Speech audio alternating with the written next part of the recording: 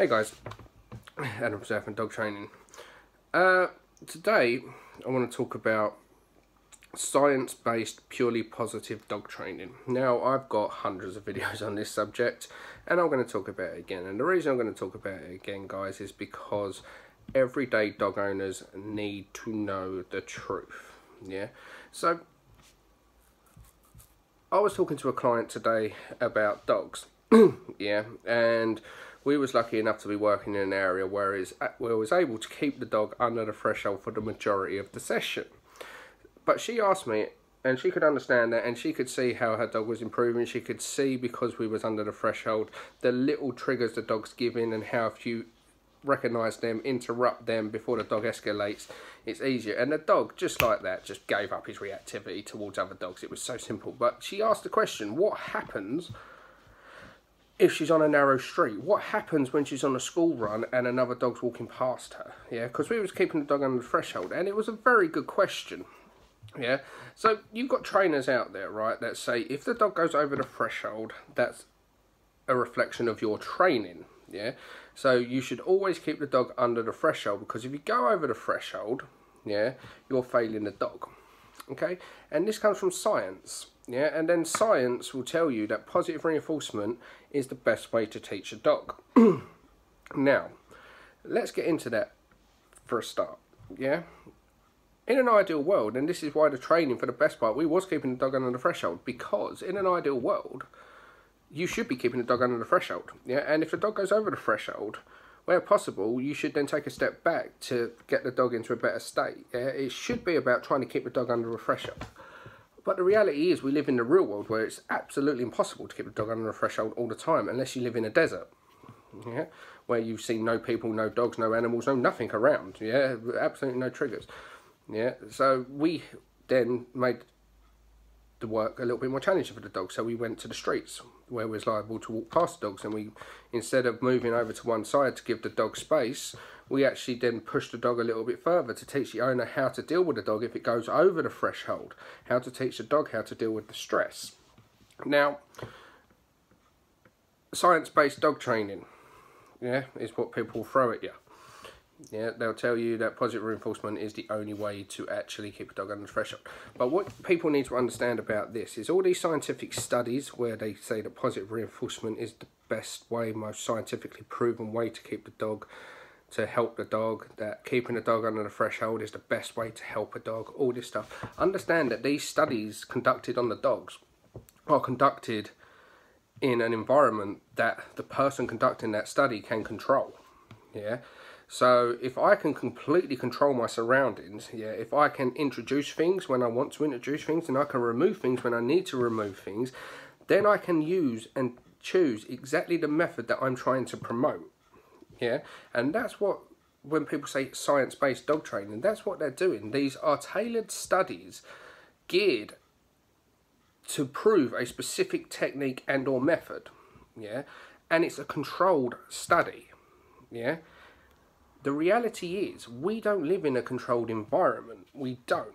yeah, we can't stop Deirdre, who thinks it's acceptable to let her three little dogs go charging over to other dogs because they may not attack because they're little and she just says it's okay. They think they're Rottweilers or it's okay, the dog's not going to hurt your dog. We can't control that. Yeah, we can't control walking down the street, somebody with their dog at the other, other end of the lead kicking off. We can't always control the space we have yeah because sometimes you have to go down streets that aren't as wide. Sometimes you don't always have the luxury of being able to move out of the way.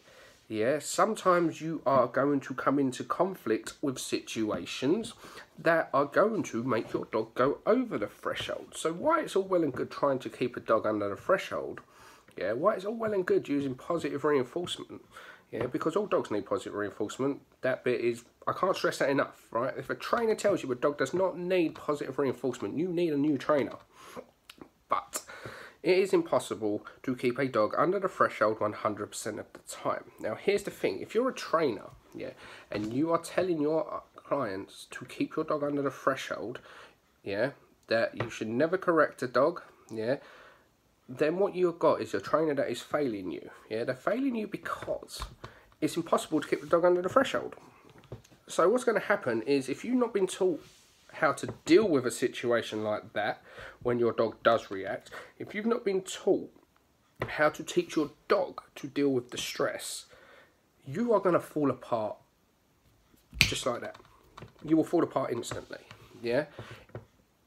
Science based conducted studies are tailored specifically. They're adding things in when they need to and they're removing things when they need to. They are testing certain methods in controlled environments, yeah? And they are controlling the environment. But in the real world, you cannot control the environment. You cannot, yeah? You can try, but the reality is people are unpredictable. When you're walking down the street with your dog and that person's got their dog bouncing around off lead or pulling on a flexi lead, they're not going to stop for a second and go, oh, your dog's nervous.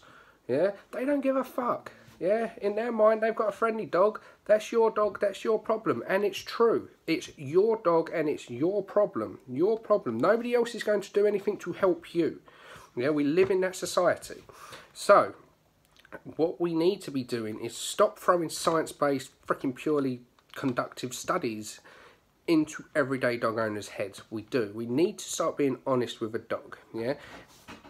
Post. And if the trainer tells you, yeah, that positive reinforcement is the only way or the best way to train a dog, yeah, and they use science to back it up, yeah, they are still pushing their own agenda on you, and they either A, don't know that there's more than one way to train a dog, or B, they only care about their method and they don't care about anything else.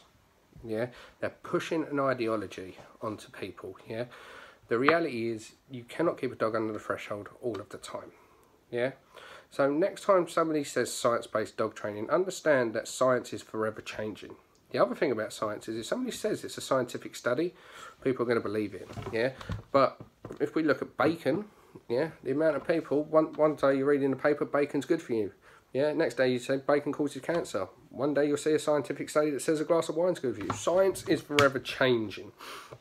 It is yeah but science is often conducted right in a lab or in a controlled environment yeah so you can tailor the results to what you are looking for it's very rarely ever conducted in the real world with real life distractions that come out of nowhere.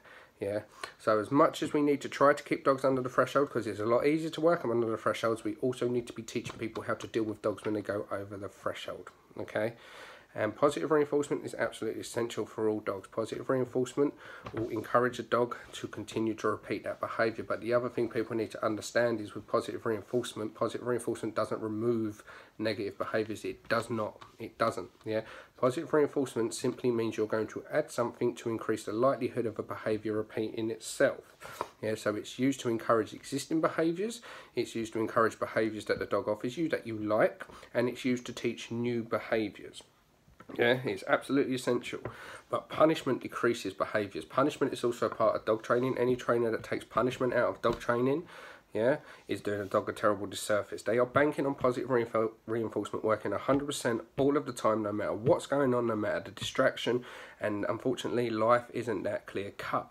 In a study, in a controlled environment, in a classroom, yes, you can use that, yeah, because you can control the environment. In the real world, you can't.